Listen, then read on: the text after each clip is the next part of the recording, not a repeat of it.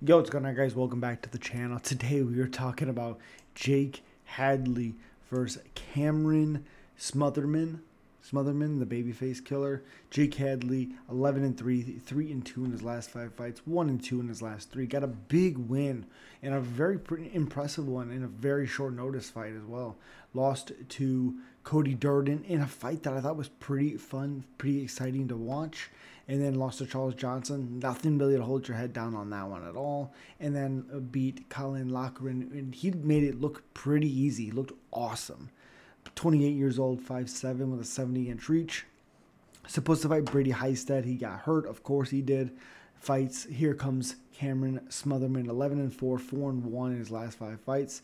Lost his last his last loss was a little over a year ago against Charalambos Grigoriou uh, in the contender series. Won three since then, and 27 years old, 5'9 with a 69 inch reach.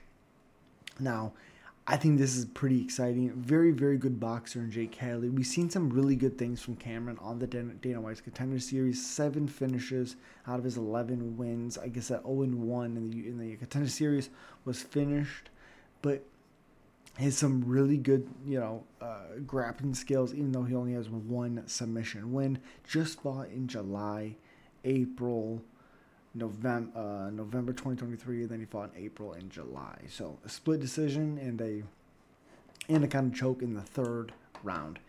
Again, I, I do think Jake Hadley definitely has a little bit more. You know, eight finishes out of his 11 wins. He's a very, very good boxer. If you can mix everything together, like grappling to striking to more grappling, you're probably going to have a decent chance of beating him. I, I just don't see him having the style of like Durden and Johnson and Allan Nascimento. I really, really like White Kong, Jake Hadley to win this matchup. And as always, guys, let me know who you're picking. Subscribe, like, comment. I'll see you guys in the next one. Peace.